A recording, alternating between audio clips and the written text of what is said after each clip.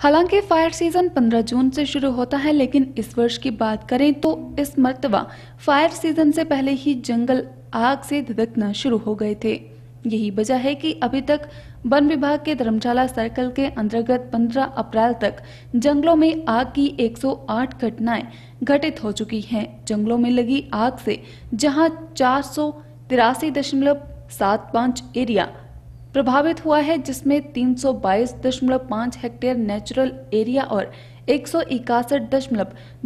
Hectare planting area शामिल है। वहीं 35 लाख रुपए का नुकसान भी हो चुका है। गौरतलब है कि वन विभाग धर्मशाला सर्कल के अंतर्गत धर्मशाला पालमपुर व नूरपुर डिवीज़न आते हैं। वहीं इससे पहले फरवरी में दो और मार्च में चौदह मामले जंगलों में आग लगने के सामने आ चुके हैं। सूखे की वजह से इस वर्ष पहली अप्रैल से फायर सीज़न डिक्लेयर कर दिया गया है, जबकि पूर्व में 15 अप्रैल से फायर सीज़न शुरू होता था। डीएफओ धर्मशाला डॉक्टर संजीव शर्मा ने बताया कि वन विभाग के फ़ील्ड स्टाफ व अधिकारियों के mobile number fire management system से इंटीग्रेट कर दिए गए हैं। जब भी कोई जंगल में आग की घटना सामने आती है तो Forest Survey of India Dehradun से एक अलर्ट मैसेज आता है, जिसमें किस बीट में किस स्पॉट पर आग लगी है जिसके चलते विभाग को आग की लोकेशन की जल्द जानकारी मिल रही है, जिसकी वजह से विभाग की टीम को स्पॉट पर पहुँचने में आसानी हो रही है तथा जल्द से जल्द टीम सदस्य स्पॉट पर पहुंचकर आग बुझाने में जुट रहे हैं।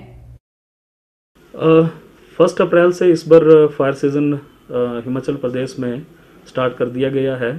पहले ही हम 15 अप्रैल से ऑफिशियल फायर सीज़न डिक्लेयर करते थे, लेकिन सूखे की हालत को देखते हुए इस बार पहली अप्रैल से ये फायर सीज़न डिक्लेयर कर दिया गया है। हमारे फ़ील्ड स्टाफ और जितने भी अधिकारी हैं, उनके मोबाइल नंबर अब फायर मैनेजमेंट सिस्टम से इंटीग्रेट कर दिए गए हैं मीन उस पर लगा दिए गए हैं। तथा जब भी कोई फायर का इंसिडेंस होता है तो Forest Survey of India, Dehradun से हमें एक अलर्ट मैसेज आता है, जिसमें उस जगह के लेट लेट और लॉन्ग दिए होते हैं लेटीट्यूड लॉन्गिट्यूड दिए होते हैं कि किस बीट में किस स्पॉट पे ये आग डिटेक्ट हुई है मॉडी सिस्टम के माध्यम से। इससे हमें ये हेल्प मिल रही है कि जो फायर डिटेक्शन में अर्ली डिटेक्शन हो जा रही है तो जो रिस्पॉन्स पीरियड है फॉरेस्ट फॉरेस्ट स्टाफ का, उस स्पॉट में पहुँचने के लिए वो कम हो जा रहा है। हम इमिजिएटली हमारी टीम वहाँ के लिए, जहाँ पे फॉरेस्ट इसका फायर का अलर्ट आया है, उसके लिए मूव कर जाती हैं और उसकी कंट्रोल के लिए लग जाती हैं, जिससे वन संपदा को नुकसान होने से बचाया जा रहा है। अभी तक जो धर्मशाला फॉरेस्ट सर्कल में 108 पहली अप्रैल की बात करें, पहली अप्रैल से 15 अप्रैल तक 108 फायर केसेस ऑलरेडी हो चुके हैं, जो कि हम तुलना करें पिछले साल की और उससे पिछले पिछले साल की तो उसके कंपैरिजन में बहुत ज़्यादा हैं, जो इस बार हुए। देखिए इसमें जो पोस्ट मानसून पीरियड रहा, उसमें रेनफॉल बहुत कम हुई। इवन जनवरी, जो विंटर में रेनफॉल होती थी, उसके कंपैरिजन में भी काफ़ी कम रेन बहुत कम रेन इस बार रिसीव इस साल में रिसीव हुई, जिससे ड्रॉट लाइक कंडीशंस अर्लियर आ गई। गर्मी ज़्यादा पड़ी, जिसकी वजह से गर्मी का सीज़न जल्दी स्टार्ट हो गया। पानी इसमें ड्रॉट कंडीशंस रही, जिसकी वजह से आग लगने की घटनाएँ इवन फरवरी से ही हमने रिपोर्ट करना स्टार्ट हो गई थी। फरवरी में अगर सर्कल की बात करें तो दो फायर केसेस हुए थे। मार्च में ये चौदह थे। और अब तक, एक अप्रैल से लेकर अभी तक 108 केसेस हम रिपोर्ट कर चुके हैं। देखो awareness forest fire awareness campaign हर साल ही वन विभाग एक लॉन्च करता है, जिसमें जो पहली ग्राम सभा होती है, उसमें हमारा स्टाफ जाता है तो लोगों से रिक्वेस्ट करता है कि फायर सीज़न आ गया है। तो लोगों को जागरूक करें कि इसमें वनों में आग ना लगाएँ। दूसरे, हम डिफरेंट प्रचार माध्यमों से, आपके न्यूज़पेपर के माध्यम से या इलेक्ट्रॉनिक मीडिया के माध्यम से भी अपील करते रहते हैं लोगों से कि वनों को, वनों में आग ना लगाएँ। हमारा जो publicity wing Himachal Pradesh forest department का पब्लिसिटी विंग है, उसने मास अवेयरनेस कैंपेन इस बार लॉन्च किया। और उन्होंने सभी वो एरिया विज़िट किए जहाँ आग लगने की घटनाएँ ज़्यादा होती हैं।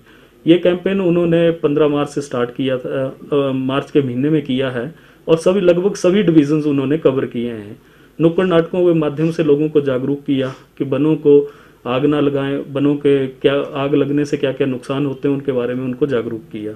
हमारा भी इसमें रहता है इस बार तो स्कूल ओपन नहीं थे नहीं तो हम भी इसमें फायर अवेयरनेस बच्चों के माध्यम से स्कूलों में जाके पेंटिंग या डेक्लेमेशन कंटेस्ट करा के अवेयरनेस कैंपेन एक लॉन्च करते थे।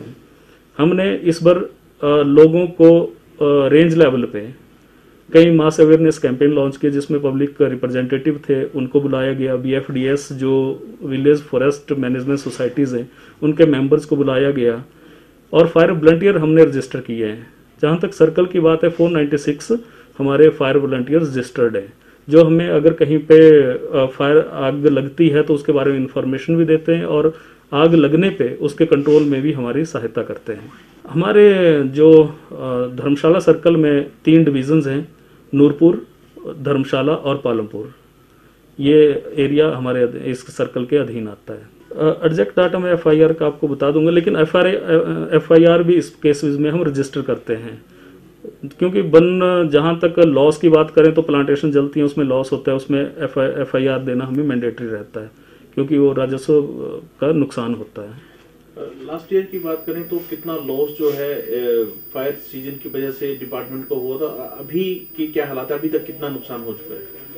जहाँ तक नुकसान का आंकलन है तो 35 लाख के लगभग का 108 केसेस में जिसमें साढ़े चार सौ चार सौ सतासी हेक्टेयर के लगभग एरिया अफेक्ट हुआ है। उसमें 35 लैक्स के लगभग सर्कल लेवल पे हमारा नुकसान हो चुका है।